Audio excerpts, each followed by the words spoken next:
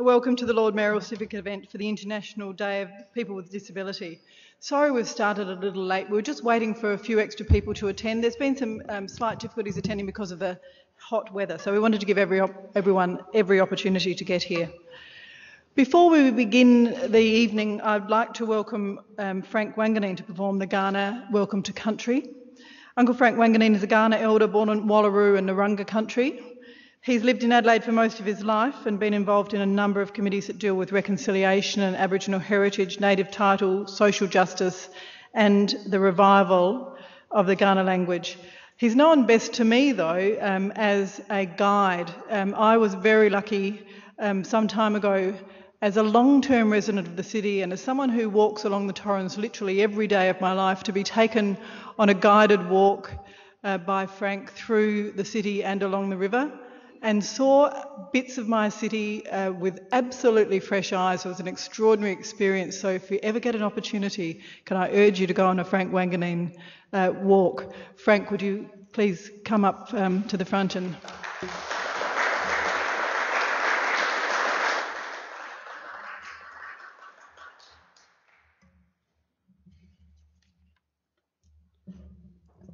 No worries, thank you.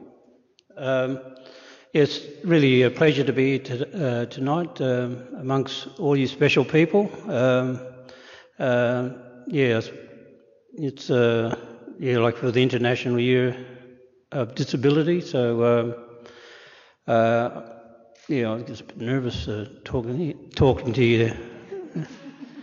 um, but um, yeah, just sort of uh, you're welcome to Tandanyanga, a place we call Adelaide. Uh, and um, what I'll just do is uh, speak it in the language. Uh, uh, Nai Tampati Tuwila Burkiana, um, Nai Tampati Bamba Bambaya Rendi, Ghana Yurtiana, Younger Ghana Miyana, Nai Wangani Mani Nai Budni Ghana Yurtiana, Tandanyanga Wadliana. Um, yeah, what I just said is I'd just like to acknowledge the place we're meeting is on Kaurna country, and I just also want to acknowledge uh, ancestors and um, just uh, uh, on behalf of the Kaurna people, I just welcome you to Kaurna country. So, Nati, thank you.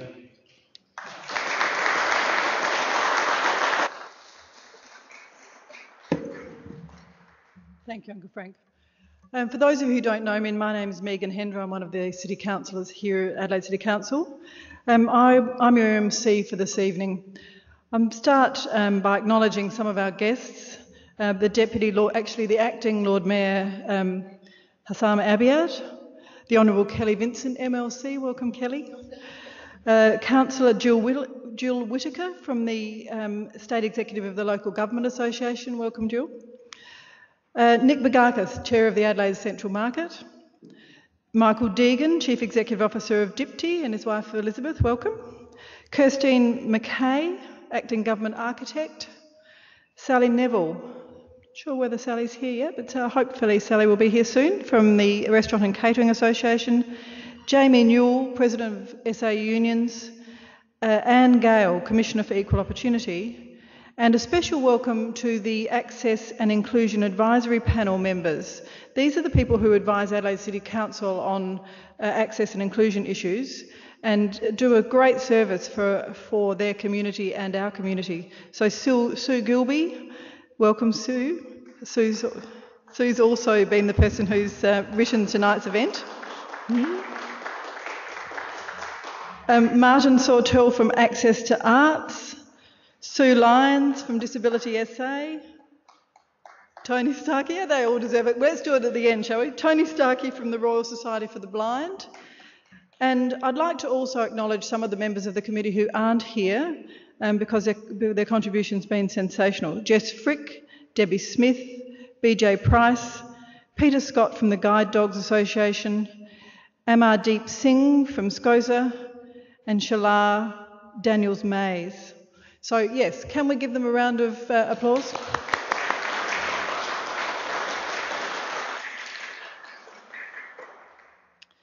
Um, it's my job now to, and my honour, to hand over to the acting Lord Mayor Houssam Abiad, who's going to speak to you briefly on, the, uh, in, on behalf of the Lord Mayor. Thank you, Councillor Hender. Good evening, everyone. I also acknowledge that we are meeting on Kaurna land today, and I've also like to acknowledge my colleagues, uh, Councillor Hender, Councillor Clearihan, and also Councillor Martin. Thank you for joining us. I'm not sure any other councillors are here today. But uh, I'd like to welcome you to the Adelaide Town Hall uh, to mark the International Day of People with Disability 2015 um, and conduct a panel member discussion. International Day of People with Disability is held on the 3rd of December each year. It is a United Nations sanctioned day that is celebrated internationally. The day aims to increase public awareness, understanding, and acceptance of people with disability and celebrate their achievements and contributions to the broader society. Adelaide City Council is a proud supporter and has facilitated and supported a range of events in the city this year including our gathering tonight. Adelaide City Council endorsed the Access Inclusion Strategy in 2012 and built on a history of access action plans dating back to 1998. The strategy introduction signalled a broader focus linking to national changes, including the introduction of the National Disability Strategy and the National Disability Insurance Scheme. As part of this work, we also established the Access and Inclusion Advisory Panel, which includes the introduction of a case study model to focus attention on outcomes. Key achievements during the panel's term, including operational and capital improvements at the Aquatic Centre and collaboration with the Urban Design Framework Project to encourage inclusive design principles and accessible design elements in the urban environment. I'd like to take this opportunity to thank the panel for its ongoing commitment and support to inclusion in our city.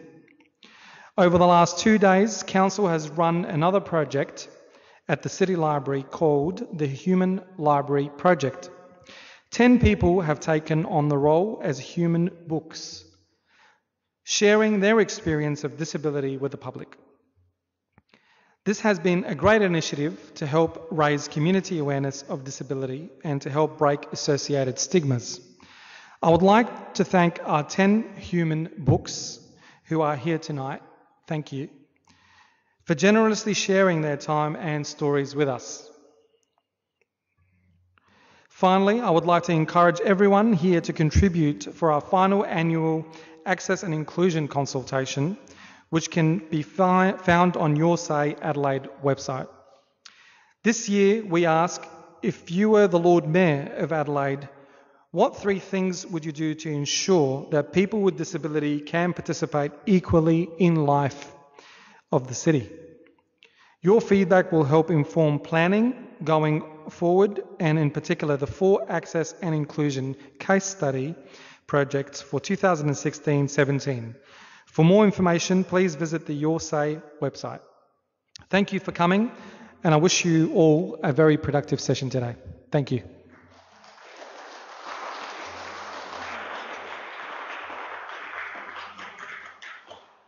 Thank you, Sam. Um, um, we'll be handing over um, and beginning our hypothetical in a minute. Before that, there are just a couple of housekeeping things that it's my duty to talk to you about. One is that the room is fitted with a hearing loop. It's, uh, it um, relates to the first five tables, and there's actually a black line around. You'll be able to see anything inside the black line. Um, there's, it has, has, a hearing loop attached. So if you've got any hearing difficulties, the front five tables are the tables to be on. The session's going to be on up here on the screen. Um, it's also being Auslan interpreted, as you can see. Um, the session is going to be streamed live on the council website. For those of you who haven't had the delightful experience, um, all our council meetings are now streamed live on the council website. Please, anytime you want to log on and have a look at us doing our business, you're more than welcome. Um, and tonight's is no exception. And a recording of tonight is going to be available on the council website probably in a week or so. My next very welcome duty is to introduce our host, the host of the hypothetical this evening, Claire O'Connor, SC. Claire's a barrister at Anthony Mason Chambers and has been practicing law for over 30 years and teaching advocacy for over 20 years. She's worked in New Zealand, where she was first admitted, in the UK, and in South Australia. And she's conducted hundreds of trials and appeals and inquests and been counsel in three Royal Commissions. Her notable career got, has got many highlights. I've got quite a long list, so i have given you a summary here. She's worked at the Legal Services Commission. She's been a solicitor at the Aboriginal Legal Rights Movement. She's appeared at the Royal Commission into Aboriginal Deaths in Custody, acted as junior counsel in the Trevorrow case, so involved in a number of high, high profile cases, represented Cornelia Rau, who you might remember was detained inappropriately in immigration detention. Um, in the last 12 months, she's represented families and survivors in the SIEV 122, uh, sorry, 221, the uh, boat that uh, sank. And currently, she's acting on a case that relates to Manus Island, challenging uh, the, the detention of people on Manus Island. In addition to that legal work, uh, Claire's been a huge contributor to her profession. She's taught advocacy all over the country and in Bangladesh. Uh, she stirs the pot well and truly in relation to the recognition and involvement of women in law and has done and has made a considerable change to our profession as a consequence of that. Um, and she's going to be the host this evening of what I hope will be a highly entertaining uh, hypothetical. So, Claire, please come on up.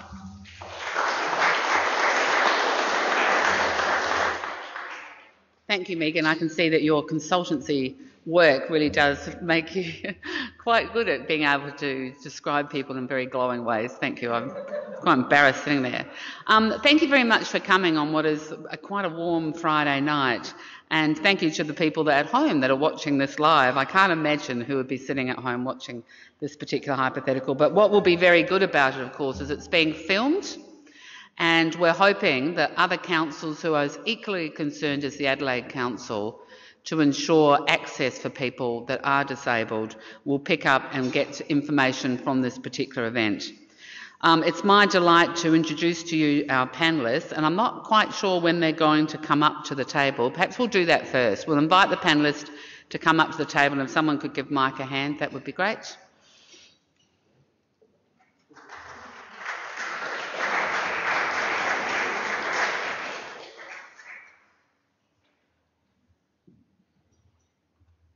There's Y's there, Anne. Thank you. This way.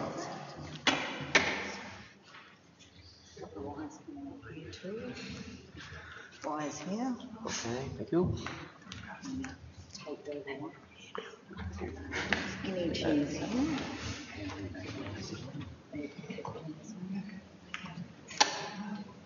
Thank you. Thank you. And of course, those of you who um, aren't blocked by this uh, particular lecture will see that I'm, in fact, attending today disabled on purpose out of support. I came off my bicycle and had an operation last week, so I think I should get a round of applause for that. Um, just kidding. Uh, today, the panellists uh, are one short. You will see we have a missing chair, and uh, we were hoping that Gail Rankin would be able to be here, but unfortunately, she's been, uh, I understand, in Sydney uh, performing one of the functions that she has as, as uh, the chairperson of the First People's Disability Network and wasn't able to come back.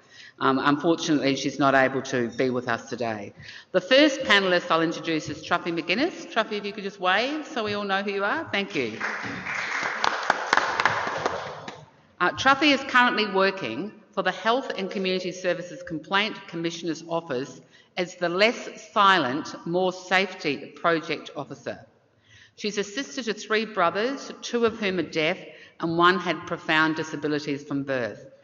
Her family experience and many years of working alongside people who live with disability and the people who love them uh, has filled her heart with joy and deep understanding of why we must do better for them. Mike Taggart, you're going to wave, thank you, Mike, um, brings to us a background as a City of Salisbury Inclusion Officer since 1997 a member of the Independent Advisory Council for the National Disability Insurance Scheme. He received the 2009 National Disability Award, Local Government category. He was a member of the South Australian Government delegation to the Disability Ministers National Forum this year. He wants to learn how to enable organisational cultures to be inclusive of population diversity. He believes that the Council of Australian Government's National Disability Strategy can expand mainstream inclusion if there is uh, a modest recurrent funding commitment. So I suppose it really does boil down to more money, doesn't it? Um, Nick Schumi is a qualified youth worker, waving to you at the end. Specialising in young people with disability, Nick has a wide range of experience working in multiple roles within the sector, including the founding member of the Youth and Disability Advisory Committee and Mentoring Program. He's also a member of the Ministerial Advisory Committee, Students with Disabilities, a disability case manager, and a supporter of Dignity for the Disabled, where he had the great honour of being a candidate at the last state election here in South Australia.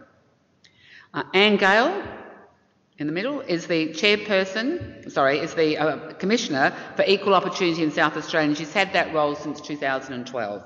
She came uh, to that position, um, sorry, I'll, I'll, tell you first of all what the role is, and that is she's responsible for resolving state-based complaints of discrimination, for providing community education and training on matters relating to equal opportunity and discrimination.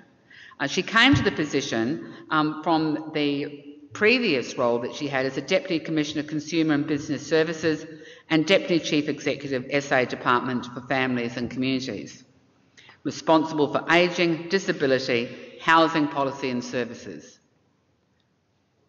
In her current role, Anne works to address inequality and discrimination with current priorities being age discrimination, people with disability, gender inequity, and race discrimination. And as a Deputy President of the Board of Tutti Arts and a board member for Access to Place, a community housing organisation for people with disabilities. And I know Hassan's already been introduced, but I'll do it as well. Hassan Abiad, uh, as well as his role of being the Deputy Lord Mayor, he's an entrepreneur with a thirst for seeing his community thrive. Though born in Adelaide, he spent most of his life living in Lebanon, returning to Australia at the age of 19 with his family after living through a civil war.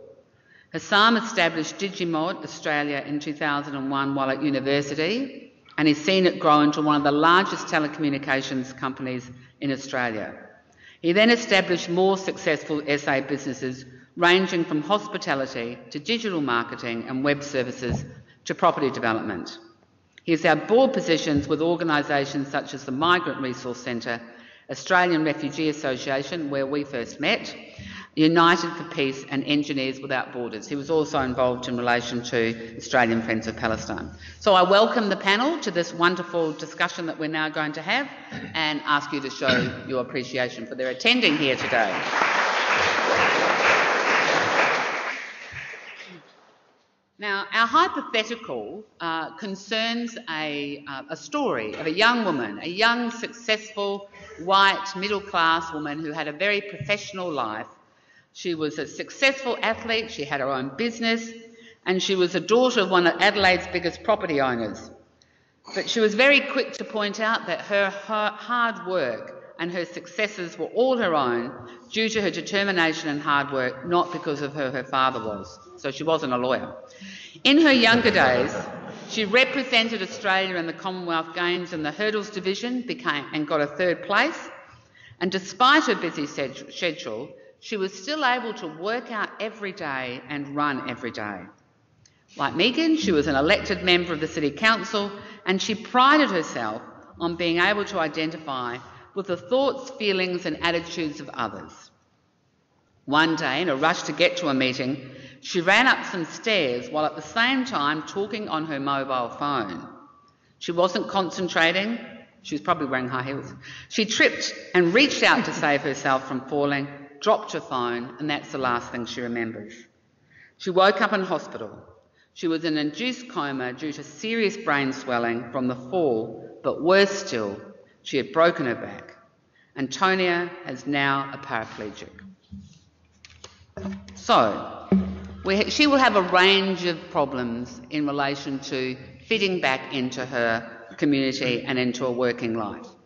And for the hypothetical today, we've divided this into various topics. And the first topic that I would like the panellists to tell you about is the question of housing accessibility. You see, three months after her accident, Antonia was taken out of her care environment. She was in rehabilitation till that time, but she couldn't go back to her beautiful skyrise, high-rise apartment because it didn't have wheelchair access.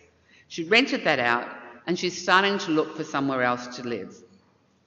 Is that going to be easy for her? Nick, are you able to help the audience with, uh, with answering the question, how easy will it be for Antonia to find wheelchair accessible rental housing within the City of Adelaide? Sure. Um, I guess there's a, a, myriad of, of things to be, you know, to think about um, in regards to um, actually accessing that housing and what will actually be needed. And um, as a wheelchair user myself, um, I'll just let you know I've had my um, my physical disability since birth, so this scenario is a little bit different to my own experience. But in terms of um, I can imagine, and I'm sure that there's people in this room right now that could um, attest to this, but uh, obviously acquiring your disability at a later time can be quite the journey in itself.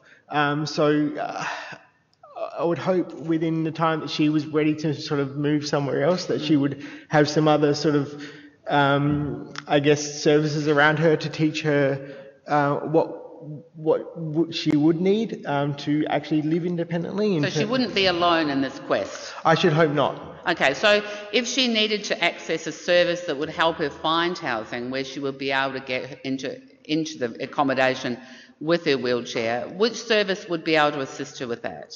Um, I guess um, um, places like Disability SA mm. would hopefully be able to assist with that.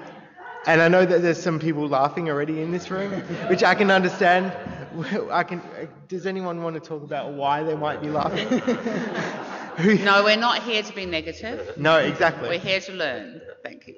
So, so you would hope that she would have people around her who have skills already, because this is a new phase of her life, who might be able to assist. And, and I'm not only speaking from um, an agency's point of view. Um, I think um, obviously um, that was explained before with my experience with um, a mentor program. That mentor program in itself is um, a peer-to-peer mentor program, so it's it's by people with disabilities for people with disabilities. So I think my, where I come from, there's a lot of learning that can happen from people that um, have that experience of living independently and and I guess paving the way to for other people. Um, and getting all the right things like um, rails in bathrooms and all those sort of generic things uh, is important as well. So it's changing the, the home space as well. And Truffy, what's your view about how she would go about finding accommodation? It's very interesting because part of the theme of uh, this year's International Day for People with Disabilities is the business of access and inclusion and um, having access to information and people gathering up the data that they need to make decisions. And I've discovered that, um, I mean, Housing SA is, is a place that you would go to chat about housing. They don't keep any, they don't give out information on what um, accessible housing they have. The community housing doesn't keep data on how many houses that are accessible um, in terms of social housing in South Australia.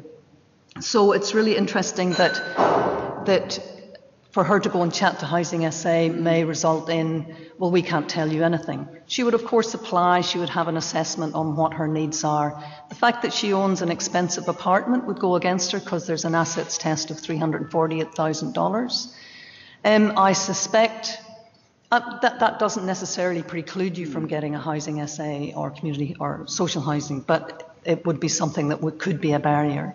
And I suspect that despite uh, her, her proud independence may also need consultation with her father, a man with connections in property. Mm-hmm. I think, I suspect that will be the area where she gets access to a house that, that she can live in. Mm. And to chat to people like Nick, etc., about what do I need to think about? Because this is completely new for her. Of course, completely occupational therapists, of course, provide that expert advice on what the space yeah. should look like. But in terms of it not looking like a hospital ward, no. talk, talking to people that, that Nick's chatting mm. about to make it a home, that would be important, and the peer support. And Hassan, does the, does the City Council have a role in relation to and making sure that there are enough accessible housing units and accommodations available for people like Antonio? Look, definitely. I think the focus of council is at a policy level as well. So, uh, what can we do in the way of policy when it comes to public realm, accessibility, streets, footpath, uh, but also through the development plan, working with the state government to try to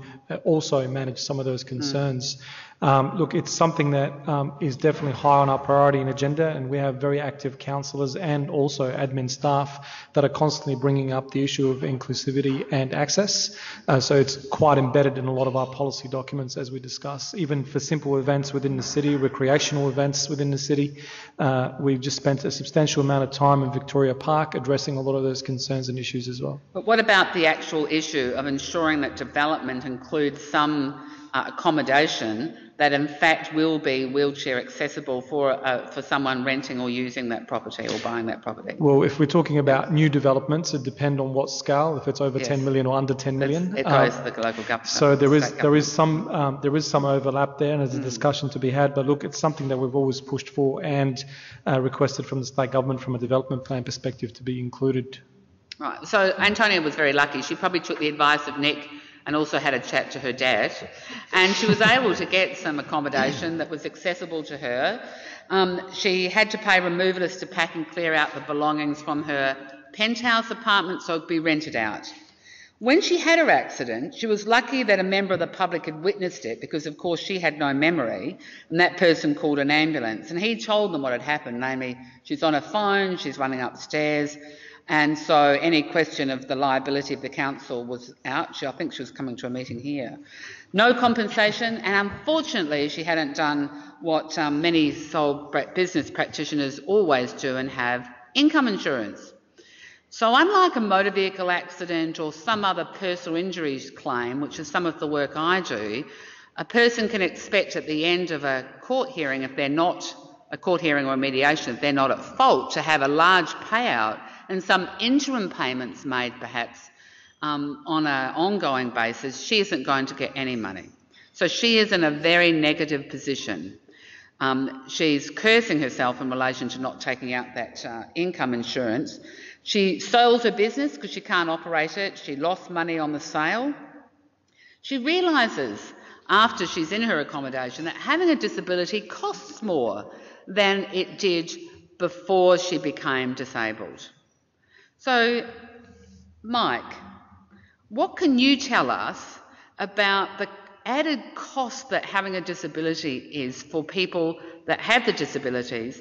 And secondly, what the National Disability Insurance Scheme is trying to change in terms of assisting people who have a disability? Thanks, Claire.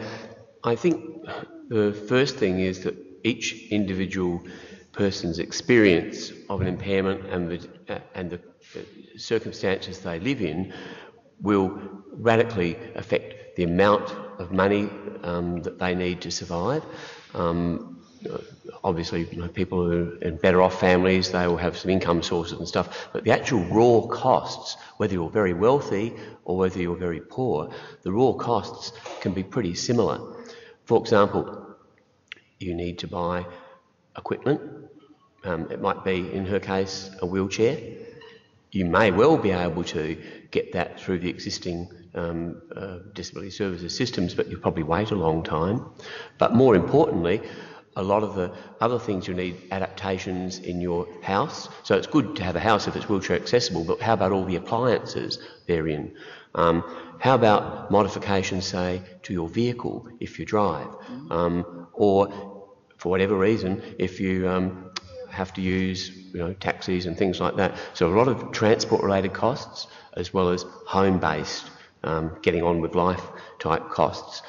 And also, um, because, our, uh, because what disables people most is actually the physical inadequacies of our environment or the communication, lack of communication mm. um, about you know, accessibility, things like that people have to spend a lot of time making up for that social deficit um, that belongs to society mm. to get themselves around in an efficient way and trying to keep healthy. And the sum total of all that is for many people, both physical and mental health can be undermined, which has its own unique set of costs as well. And how does the insurance scheme, the NDIS, intend to pick up and relieve people of the burden, the added burden? I, I, it's a really great question for this time. If, uh, for, for today, uh, while we're still in the trial phase in South Australia of the National Disability Insurance Scheme, um, her story would not be a happy one. Um, some of the laughter earlier on in, during Nick's comments, um, I think, could be applied to a whole lot of other areas of assistance you might need. But the National Disability Insurance Scheme will fix a couple of things about the system we have today. One, and in some ways the least important, is that the system we have today is broke. There's not enough money in that system. And so many people, like Antonia, scramble for resources on an annual budget basis, depending on what the state governments can manage to find, and many mm. don't make it. But more importantly, the system we have at the moment is broken, and the NDIS will fix that in two main ways. One is that people will have a lifetime entitlement to a level of funding, individual funded packages, if they're eligible to participate in the scheme, they have an individual funded package which reflects what is the cost of reasonable and necessary support to live an ordinary life, such as they might have lived if they didn't have the particular incident, accident, whatever. Mm. They will also have the opportunity um, to have that income, um, uh, uh, sorry, to have that support um, uh, available to them at their choice, in their control, in such a way that early intervention is uh, going to be possible. So you don't have to say, oh, look, we can't afford big upfront costs, even if those big upfront costs would actually mean that later in life you need much less maintenance and support. So a National Disability Insurance Scheme will provide a whole of life insurance scheme which makes it sensible to invest early and so that your reasonable and necessary supports in the future can be not just maintenance, getting out of bed, catching a cab or whatever it might be, but can be developmental and growth oriented. Thank you. Um, the next topic we want the panellists to cover is the issue of the experience and language of disability. Coming to terms with her new life, Antonia starts to engage within the disability community. She starts researching disability and what it means to people, and she's shocked to find that there are many barriers. She's never been denied access to anything before, never even considered the various difficulties that people might face.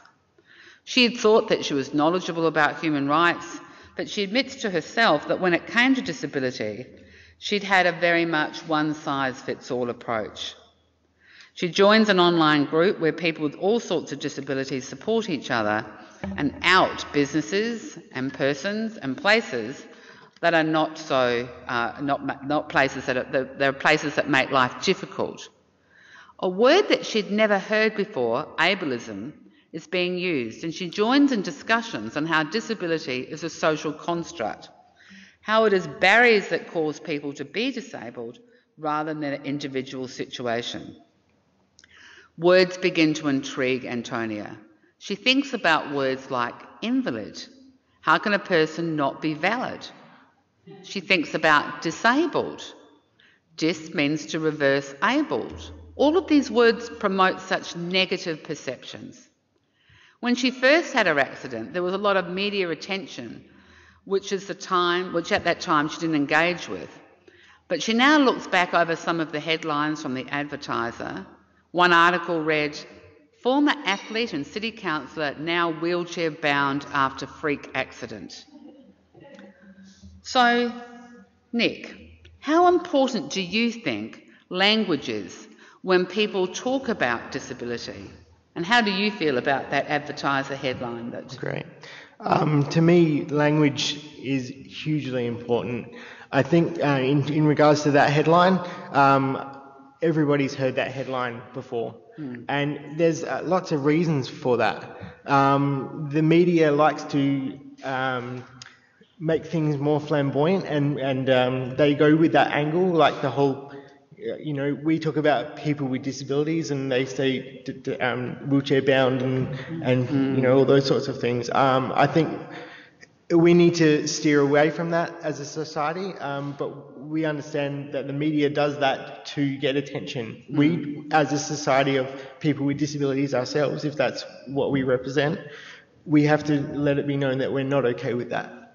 Um, and it's not just about, I know a headline is, is specifically about a headline, but it's not about that. It's permitting that It is. kind of language, isn't it? It is. Um, Anne Gale, you're the commissioner in South Australia that's supposed to ensure that um, that people, for the purpose of this discussion, who have disability, are not discriminated against. Are you able to tell the members here just briefly what your role is in relation to discrimination uh, for, for disability areas? Uh, Okay. Um, I can take complaints of um, unfair treatment. So a person may experience unfair treatment and therefore it dis- could be discrimination and they are able to lodge a complaint with the Commission. I guess the first thing is to say it must be complaint by that person, so you can't lodge a complaint on behalf of or a group of people. Um, that the people must have uh, experienced the discrimination themselves, so that's the first thing. Um, the Act deals with 14 grounds of discrimination, you know, race, age, sex, gender, chosen gender, um, pregnancy, caring responsibilities, and disability is one of those 14. Um, it is a broad definition under the Act, which is good in that it's very inclusive, um, and so um, people with uh, a whole range of disabilities are able to come to us to seek advice, help, and possibly uh, dispute resolution around their complaint. It must be in a public area, however. So, what I mean by public area is this um, discrimination or unfair treatment that someone's felt must have occurred in one of five or six public areas like um, employment, um, goods and services, so out in the community buying services, purchasing goods, um, in education, um, and in accommodation, sale of land, and qualifications. So it's got to be a public area, and if it's outside of that, I can't deal with it. So you've been in that role now since 2012, and so what are the, the, the common complaints or some of the complaints that your office has had to deal with? Yeah, sure. In particular, in relation to disability complaints. Yeah. Disability complaints make up at least one third of our complaints, um, ranging over the last couple of years, two to three years, 32%, 37%, and last financial year, 34%. So it is dominant, it's our biggest area of complaint. Um, most of those complaints, or 42% of those complaints, relate to employment. So that's in the workplace where people's um, disability is not being accommodated, both physically and often through hours of work, not being accommodated in, in that sense. The um, second area is goods and services. So, disability complaints, 39% of those complaints relate to goods and services, and that's often access to premises, um, you know, or um, not services not being provided in an appropriate way for people, um, and right down to, you know, therapeutic animals being allowed in to particular facilities or services. And the third area is for education, and this is actually a growing area. So 14% of our disability complaints related to education. And when I first started in the role, it was something like 4%, and you know, so it's growing. We see a lot of students now, um, voices coming forward about how students are treated in um, all forms of educational institutions, right through from, um, you know, pre-entry or low, low level entry right through to tertiary and it's often about learning plans not being followed. And the other angle is often the confusion or the debate around uh, behaviour. So a child with disability uh, might be excluded from certain things in the school or ex- ex- ex, um, you know, excluded on an ongoing basis because of their dis- uh, their behaviour, but the family or might allege that it's the um, disability that's caused the behaviour. So that's an emerging area that I see a, a bit of a trend um, in. Oh, thank you. Um, Truffy, often we focus on physical impairments that are obvious to us and, um, and they can be easier to identify. What about the experience of those whose disability is not as obvious? From your experience with your family and working alongside people who have disabilities, what do you see as some of the biggest barriers to their participation?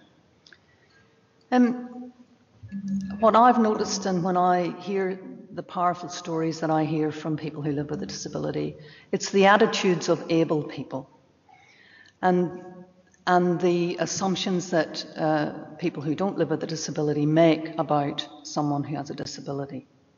Um, and for me, the big thing about how you allow more participation is to actually have make connections with, have relationships, have friendships with people who live with a disability.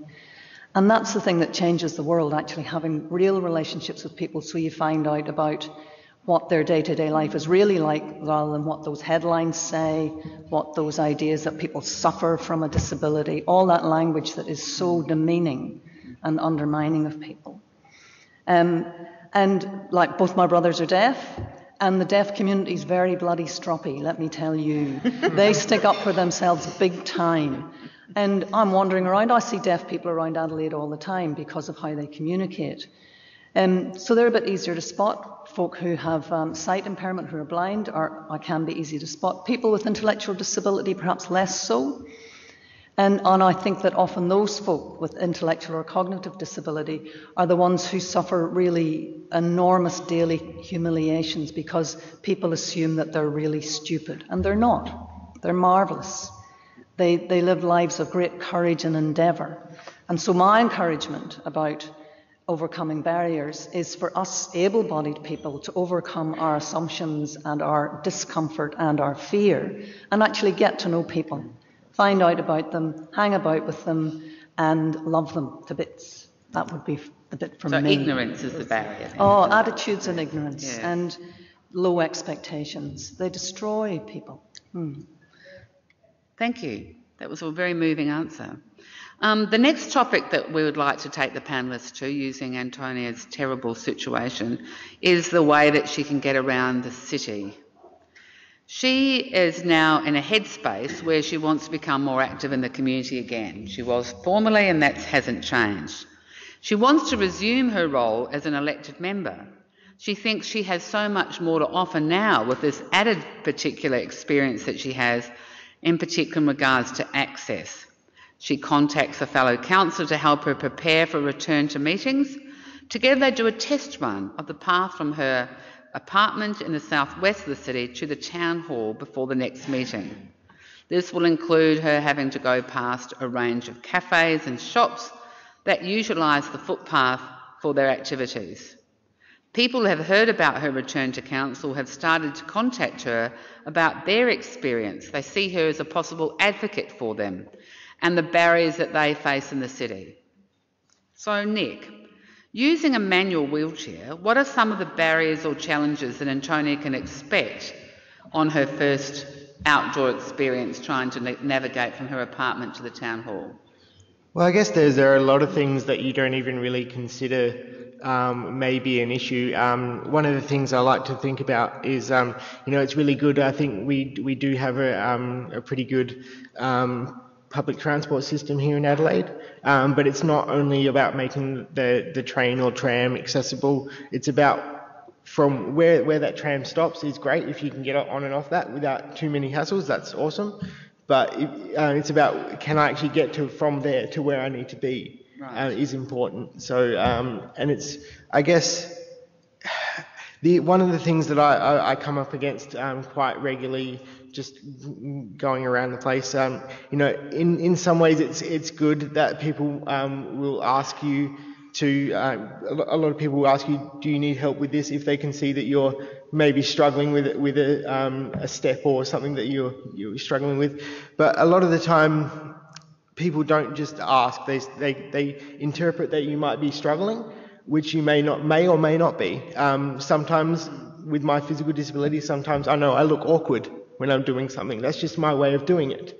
Um, and people just automatically they may ask you, but they actually ask you while they're helping you or why they seem to be helping you. So they're actually moving you physically and being on your person before they've actually even asked you. Um, so I come from the point of I'd rather have somebody ask me before actually doing.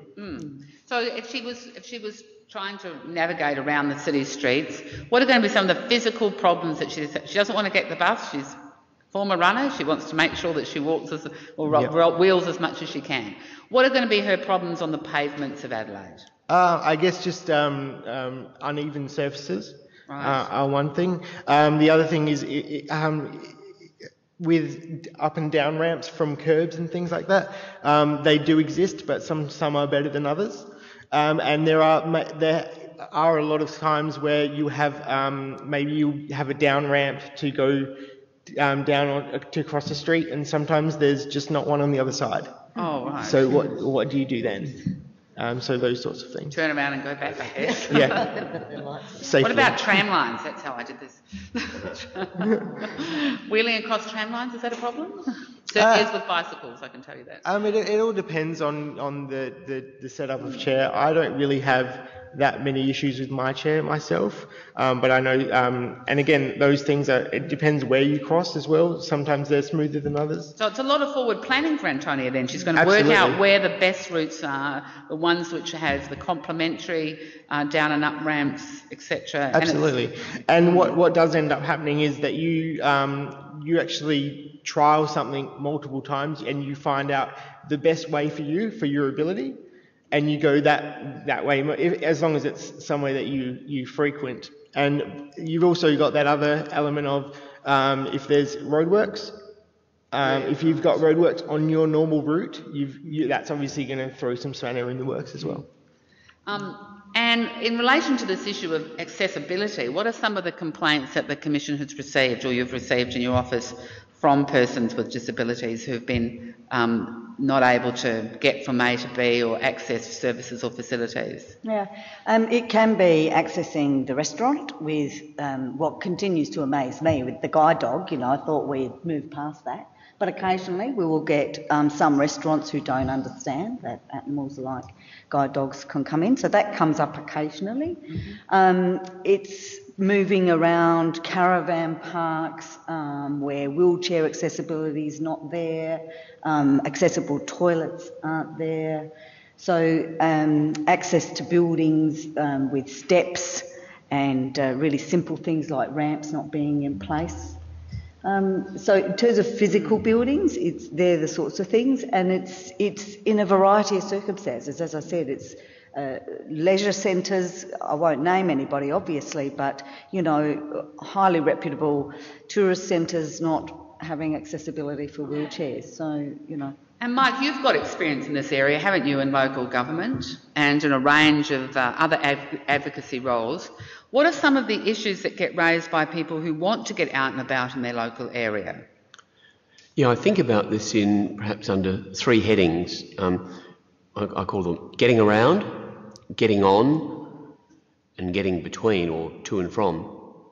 With getting around, one of the things that Salisbury Council, I suspect others, but that residents have said for a long time, but in the last five or six years, with more of them, more stridently, is that we have to get design right from the inception of any new project, be it you know a massive subdivision um, or a building, a park, a library service, um, a, a recreation service.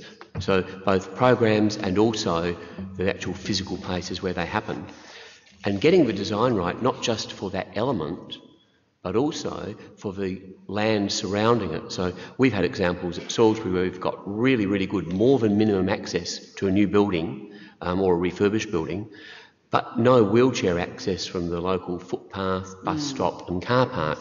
So we're saying to the proponents of those projects, you can't just focus on what you want to achieve, you've got to also plan for and budget for the context that that park or building is in. Hmm. So that's getting around. Getting on, and I, this has been pretty well covered, I think, by Truffy and Nick, hmm. that is, they're saying that, especially for our council staff, um, that they don't want to have to begin at the beginning every time they meet a council staff member to get across the idea that they're not poor, helpless people with disability, that they have some dignity and that they actually are, you know, in their own words, perhaps not in their own words, but champions who have who are dealing with some quite challenging environments that they have to master because we haven't provided them in the past.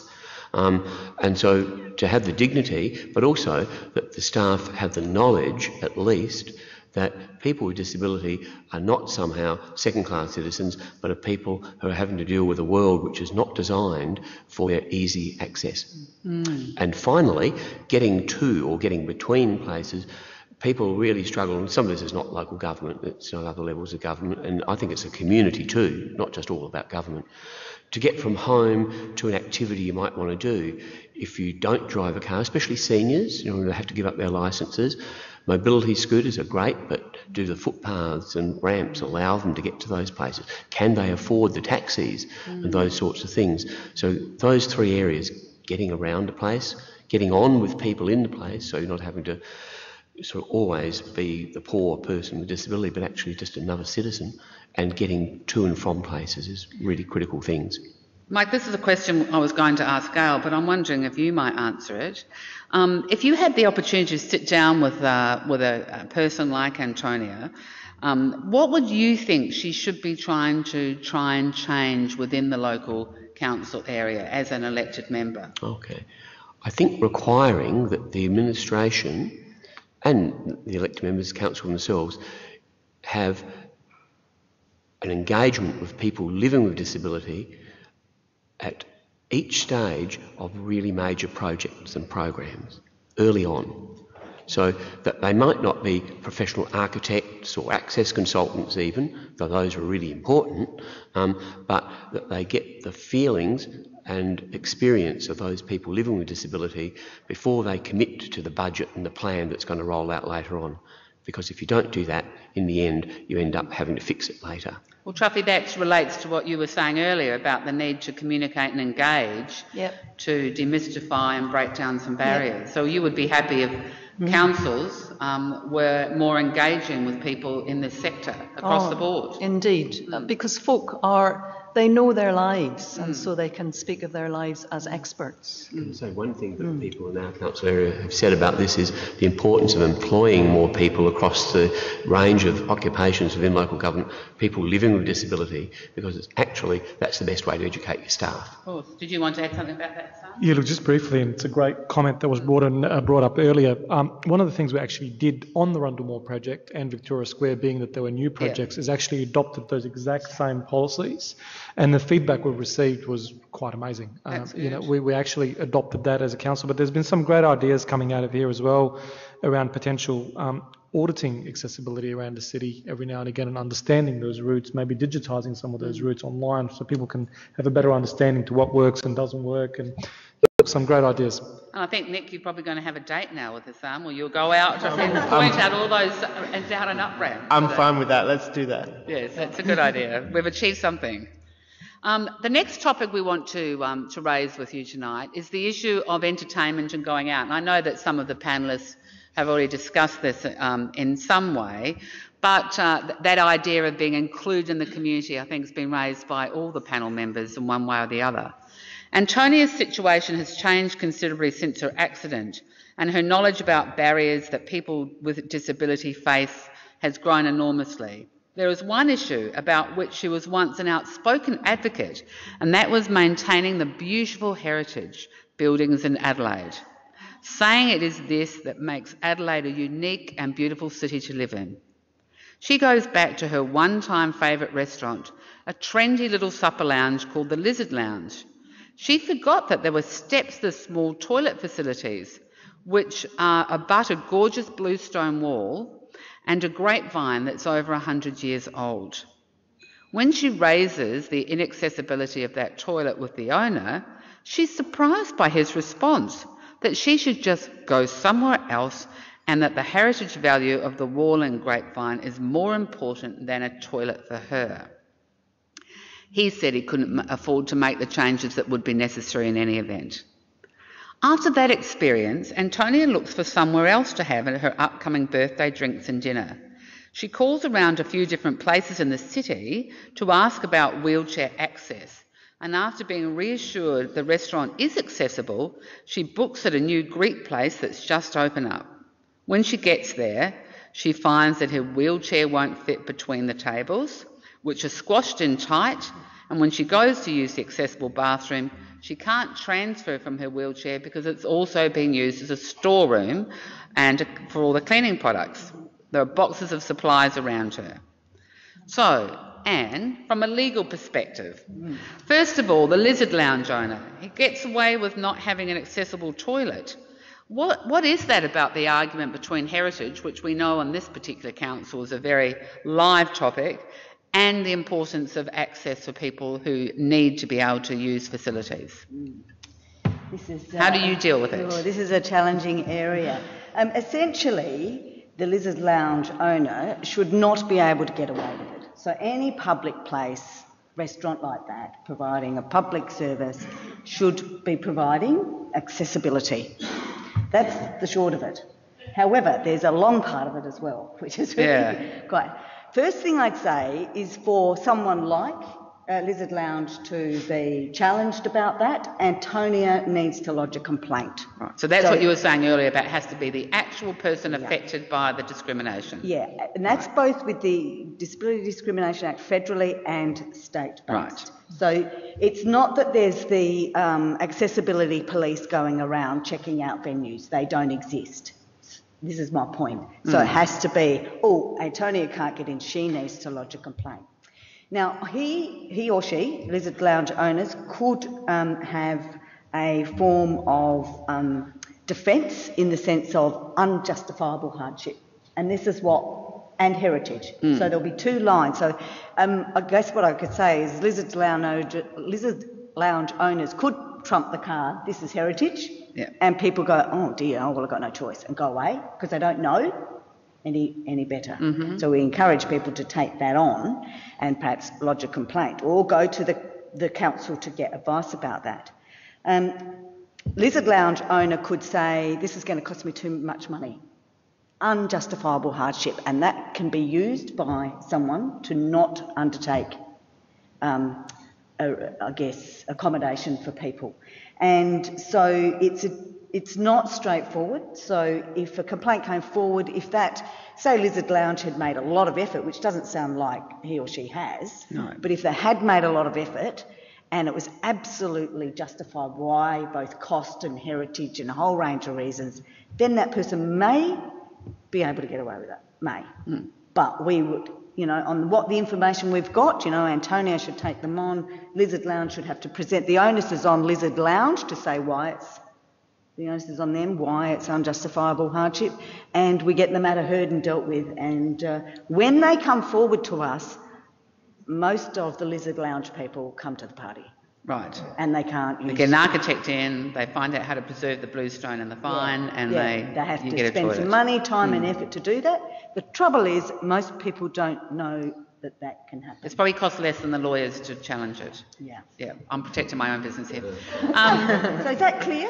that's cl- it's clear. tricky yes. area. There, there are defences to it, but you're advising people to make sure that people lodge complaints, even if the owner does say, "Look, I don't have to because of heritage reasons," to then get expert advice from your office. Yeah. Is that right? There's, there's no formal mechanism that goes around and checks that accessibility. There is, you know, for new buildings, there's certain requirements, and Yes. renovations, there's requirements. But anything sort of old, there's not the sort of heritage or the, you know, accessibility police out there checking it out. And Nick, that experience that Antonia had going into the Greek restaurant where she was told it was wheelchair accessible because it had a ramp and a toilet, but in fact you couldn't get around the tables, you couldn't get to the bar. Is that something you've experienced in places? That is definitely something that I've experienced, and a lot of people in this room, and I'm sure other people that are listening have, have experienced plenty of those things, yes. And do you confront the owners or the, or the managers of businesses? Absolutely, and I think that's partly one uh, one of my reasons for um, sort of uh, trying to specialise in working with people, and especially young people, to to be really confident people to advocate for themselves about what is important, have have the skills, and not to be frightened to say, oh, um, if I talk about this. What the issue that I'm having, I'm just going to be a nuisance. No, you're actually making it better for yourself and somebody else. So it's it's important to be, um, I guess, confident enough to to raise those things. Not not, and you have to do it in a certain way. Uh, it's all, it's very easy to get very annoyed and go straight for the jugular, which is it does happen sometimes. Yes.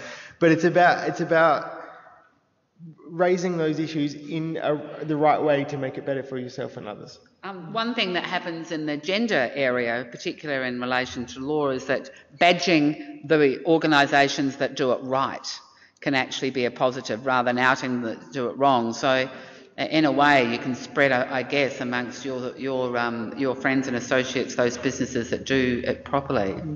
Um, and I assume, Mike, that it's it's particularly difficult for someone whose vision is impaired or indeed they are blind to dine out, attend facilities and functions. Um, what experience have you personally had that it could assist this evening? Yeah, I don't dine alone. I'm very fortunate. I'm married and have a partner, Kathy, my wife, who is happy to dine with me, and children, ditto. Um, but even so, um, there are things I guess we'd consider. Um, and I think that idea of badging good practice would be a really good thing to be able to do. Um, for example, I go somewhere, I'd prefer to go somewhere where it wasn't hectically noisy because compared with most other people there, I depend on hearing for good conversation, which is half the reason. I, well, maybe a third of the reason. I go to a restaurant, other than the food and wine. Um, so, so that's a bit of a selection process. But the point of the crowded um, spaces and tables, well, as you saw, Anne um, guided me up here. The more cluttered a space is and the narrower it is, it's a tougher gig for a sighted guide person who's guiding me through all that.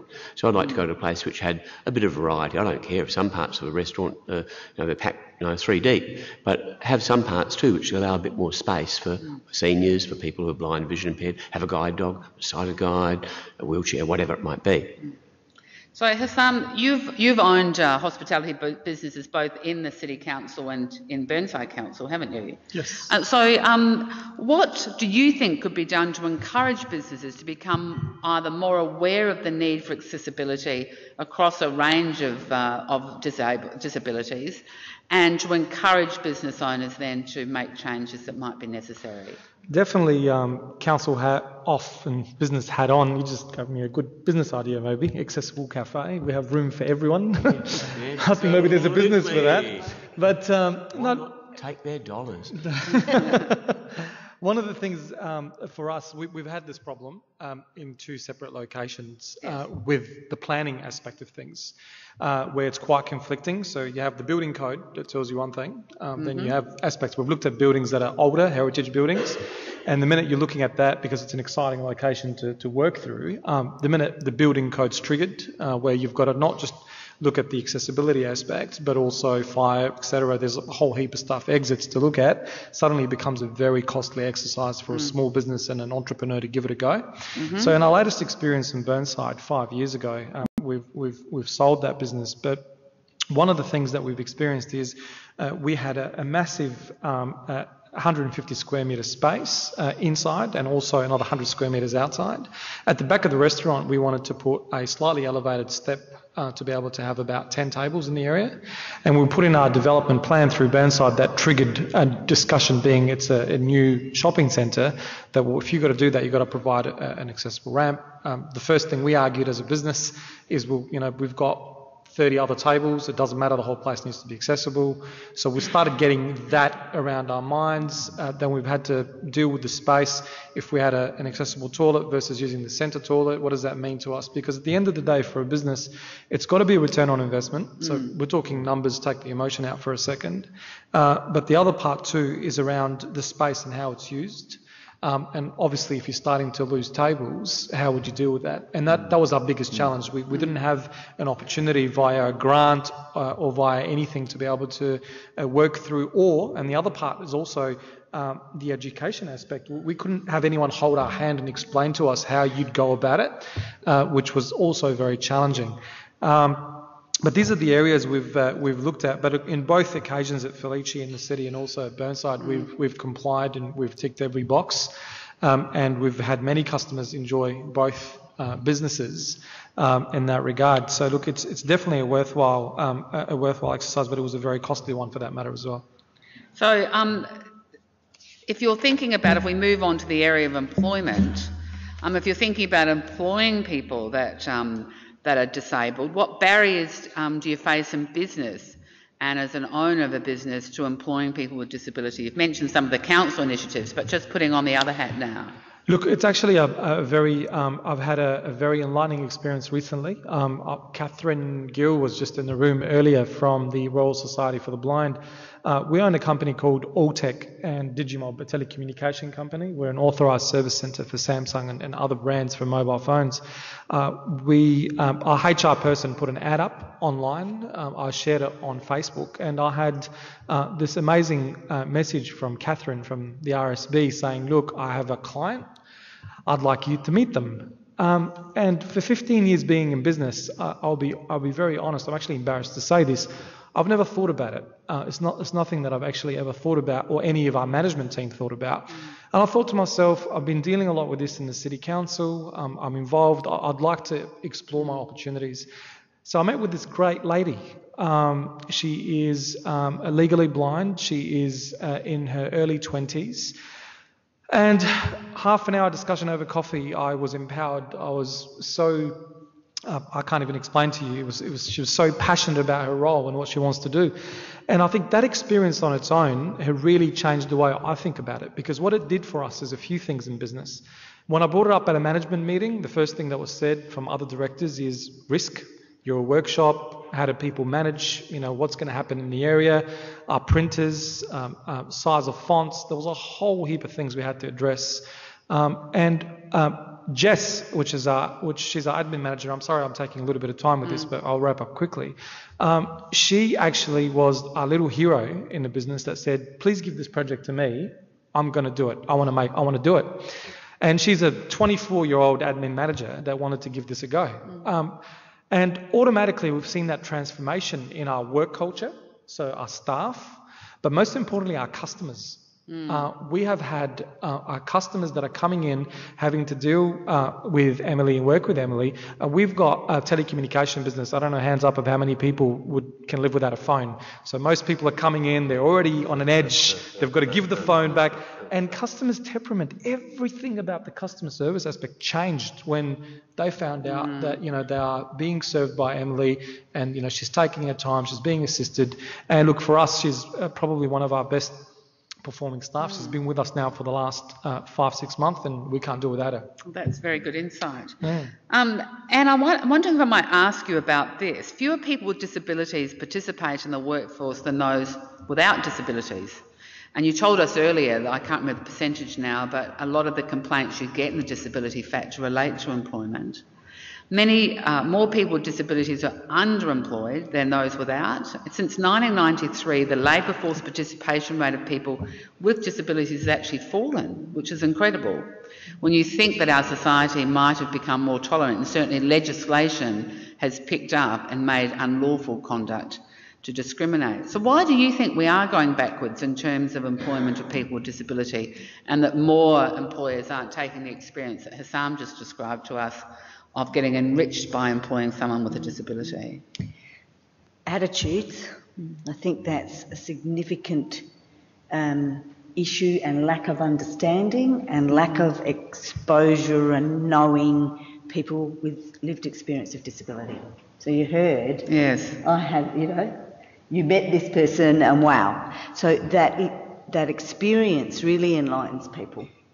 And attitudes to people with disability, you know, we talk about being inclusive, but our country has a long, long way to go mm. to really um, have a better, every person having an understanding and knowing some, a person with disability. I mm. say this to people when I do induction. How many people you know? You know, the people you don't know, people you know that you don't know they've got a disability, mm. but a consciousness about, about that. Yes, okay. So I really think that um, we, we have to push hard on breaking down those barriers, what it is to have a person with disability on on uh, the workforce, that it's not a costly thing. Like people just go, oh, that's going to cost me too much money to have that person. Mm. And we know through our experience of conciliation with employers, once you talk to them about what the person needs, oh, is that all? It's often the outcome, mm. and it's not that hard to accommodate people. So we have a lot of unconscious bias still in our community about what it will cost to employ someone,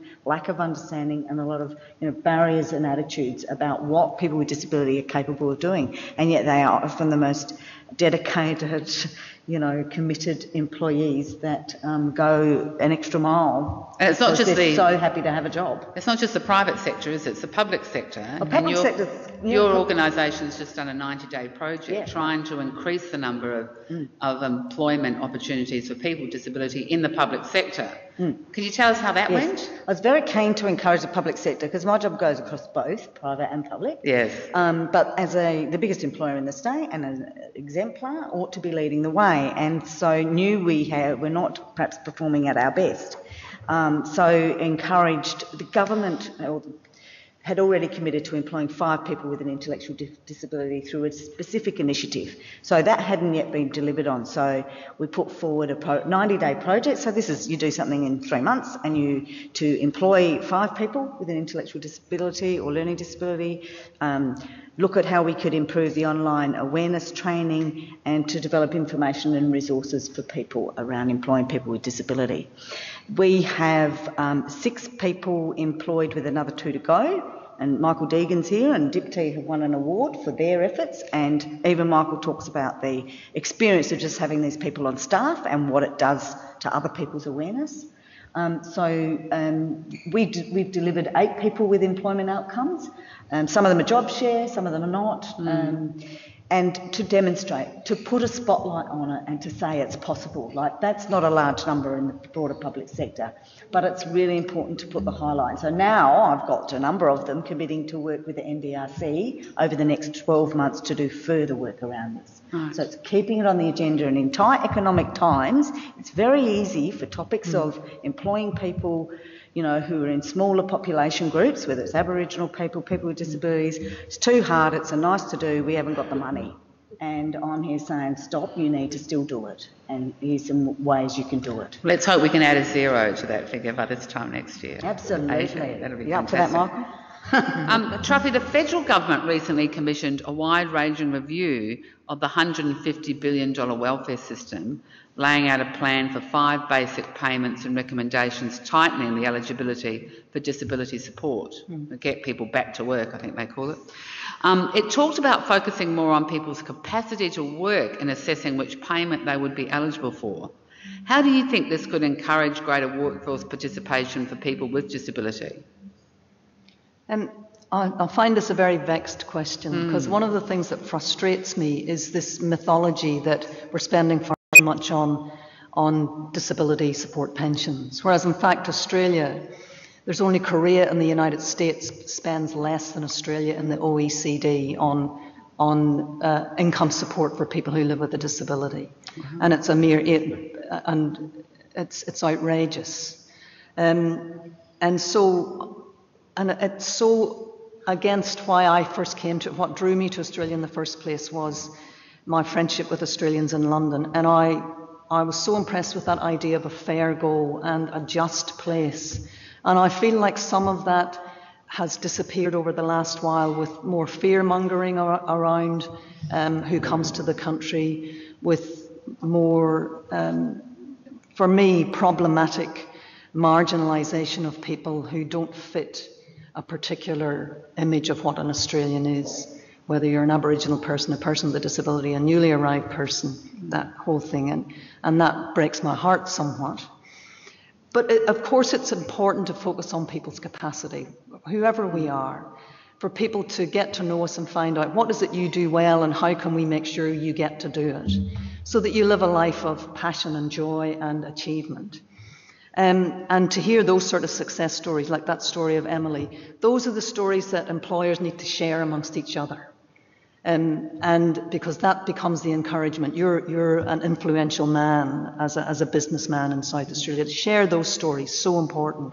But I also find it deeply ironic that at a time when the government's saying we want to focus on capacity building, we have to get people off pen, disability support pensions, etc., that actually there's been a massive decrease in funding to the services that support people with disability to access accommodation and learn how to do the job and then become established as workers. So drives me demented. That's all I can say. So I suppose in, in summary then, what we're talking about here is first of all, and you pointed out that there is no auditing in relation to whether there has been discrimination or not. It relies on a complaint-based system. Mm. And then you told us that, you know, it's difficult and Houssam's offered to maybe think about the fact that we need to inform ourselves by taking out people that are disabled and, and having them point out what the problems are. So, and that would be like a form of auditing, would it not? If, if it was a proactive council who said, right, we're now going to do an audit of every street within the Adelaide City area to see which is accessible to wheelchairs. Yeah. And, and that would then enable uh, change to occur without a complaint having to be lodged. Absolutely. Is that right? And the community education value that Mm. would come from that, you know, would be outstanding. So that leadership of, you know, if it's a council or a business, you know, that's what really will make some of the change. You know, complaint based, it's sort of a negative based system. The more proactive, the engagement of leadership, it's got to come from the top. Um, and uh, that can really make a big difference to a community. And Truffy, I think the main message that we got from you is that we need to break down the barriers and make conversations, make relationships, Yeah. and inform ourselves of what the what the what groups need and what they want, and and stop creating an us and them. Is that is, is that what you would think? And, and also the stories that say it's really made a difference to how customers experience coming into my business because I have people who are different working here, whatever the difference is. And, it Nick, does I make a difference. Yeah, and Nick, your, your uh, very helpful suggestion that the groups that you're dealing with, young people, that they see that they can be empowered if they take on what they see as discrimination against them. Absolutely. Yeah. And finally, Houssam, I suppose you, second to last, sorry, I suppose you're the, the person that's come here um, who can take some of these ideas away and try and achieve change. And you can look to someone like we already have our Salisbury Council Best Practice Council, don't we, who have already streets ahead uh, in terms of some of these changes. Would you agree with that? Have I, have I pitched you too highly? We have got some things done really well, but I'll tell you there are some things we are learning and copying from Adelaide City Council and Right. Playford and Campbelltown. Um, but there's a lot of councils, and City of West Torrens, sorry, which is here too, um, um, which are streets ahead of us in some areas. I think one of the things that a few of us, and I think Adelaide City and City of West Torrens and Campbelltown are three best examples, and we're trying to follow, is this engagement with building the capacity of people living with disability and their families, and the wider community too, to understand how that you know, the external environment is what impacts and disables you, and to give people a sense that, yes, they can advocate for themselves in an informed sort of way and engage with senior people in government, private sector, talking from their point of view, how you can make your business better by mm. including us in your customer base. How can you make your government better by having us as your staff and managers?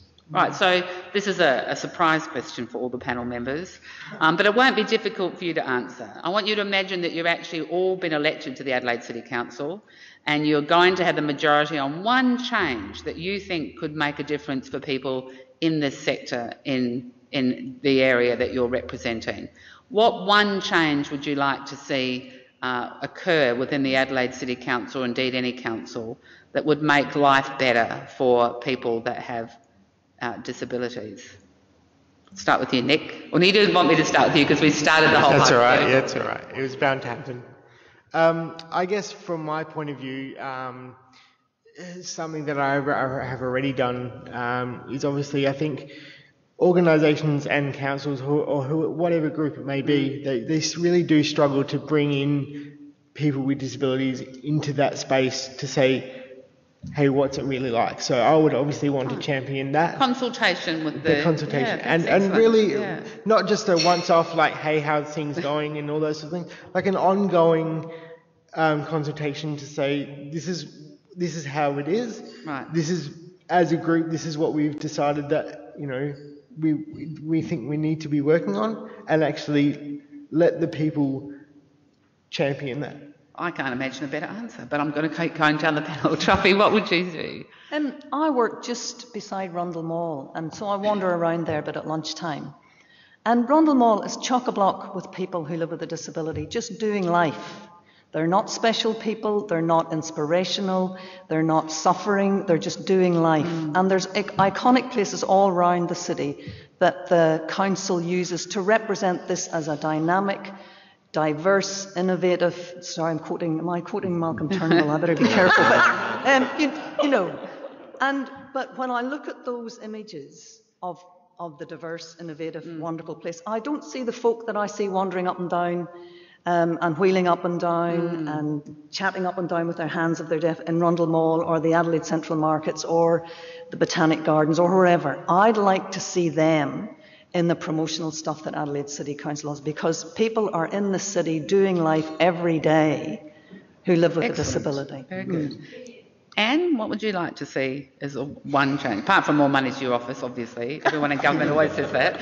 Uh, I, look, I'm going to go the employment angle. It's very hard to pick one thing, but I think if your staff reflect your community and it is that exposure to people understanding what it's like, um, having staff on in greater numbers, in greater numbers, not one or two, you know, having a strong staff uh, profile of people with disability employment strategy, then that's going to influence everything you do because the staff are going to speak to every action that the council wants to undertake, and you'll hear the, vis- vis- uh, the disability voice in the organisation speaking for That's the excellent community. too. Yeah, that's very good.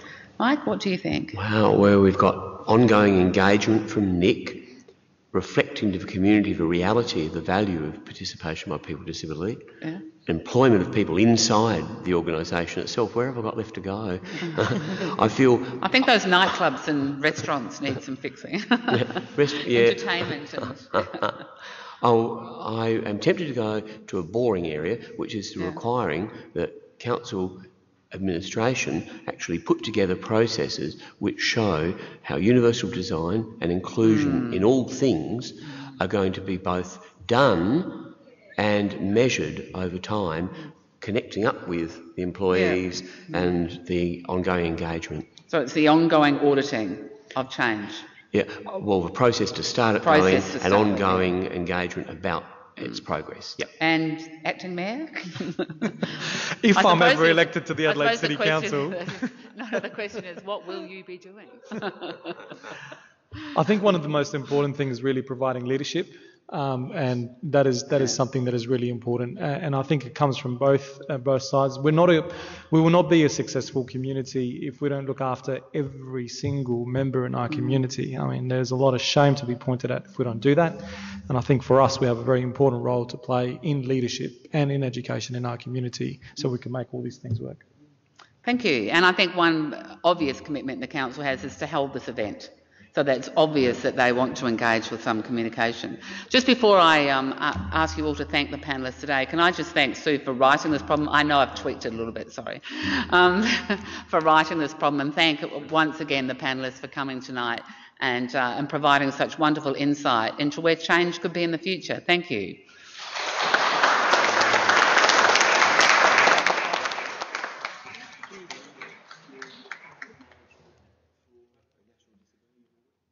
So, ladies gentlemen, it's my uh, final duty to, um, to, I think, give some gifts.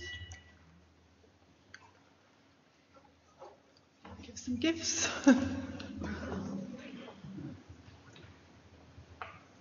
I just say while everyone's waiting, that if everybody obeys the standards and the regulations and the laws, then everything will be quite good. Because they're all there. Yes. Auditing, therefore, is important. Before you close, can I say something? Most certainly. Nick Begakis, Adelaide Central Market. You made mention of the uh, Adelaide Central Market. Uh, About uh, six months or or so ago, we um, in- started uh, interacting with the accessibility team here at the Adelaide uh, City Council. And uh, we have a plan now on, um, uh, well, we did an audit, and then now we have a plan on uh, ensuring uh, that uh, uh, what the audit said we will implement, and that includes putting in two accessible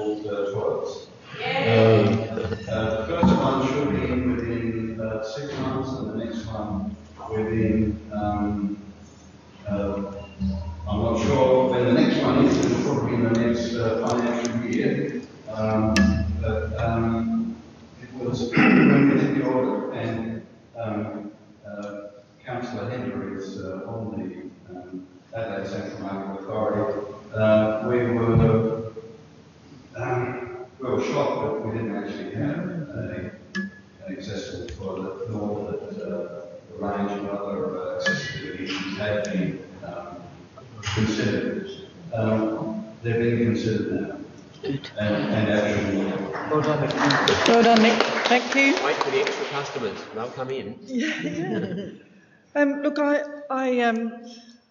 I'm going to hand out the gifts one by one, and I'll ask you to thank me with your applause. Thank them with uh, your applause when, when I do that. But I just wanted to um, make a couple of comments, um, a couple of personal comments. Apart from the fact that I was taking very careful notes in response to Claire's last question, so I've got my list of things that we're going to have to address. There are a couple of things that really uh, rang true for me uh, uh, you know, but there were sort of eye openers for me. One was the notion, I think it was Mike who said that it's the environment that disables, you know, and I think how much as a, of a, as a council, how much of the environment is our responsibility, the public realm is our responsibility, and uh, and I think I'll be looking at that in a completely different way as a consequence of that comment. So thank you, Mike. And and I guess as a person, um, the thing that sort of rang true for me was about the idea that um, that it's all about attitude. Um, so I'll be also adjusting my attitude with a focus on capacity. I think that was also a great take home message. So, um, ladies and gentlemen, if you can just um, join me in thanking them as I deliver these gifts. The, our first gift is uh, to Sue. Um, Sue is the person who wrote tonight's um, hypothetical, and I think really uncovered some of the um, some of the issues for us. So, to Sue, Sue Gilby, if you can give.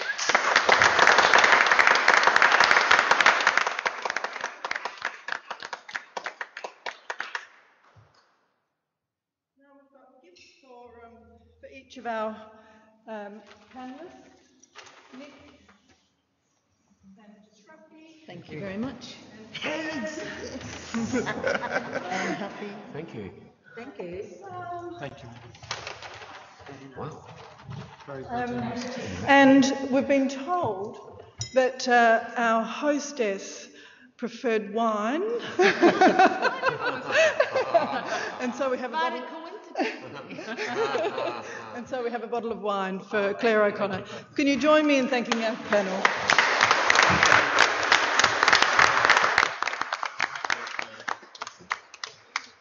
Ladies and gentlemen, that brings uh, tonight's festivities to an end. So please continue to enjoy some hospitality. Please eat some of that food that's sitting on the table. And thank you very much for your attendance tonight. Thanks. Thanks.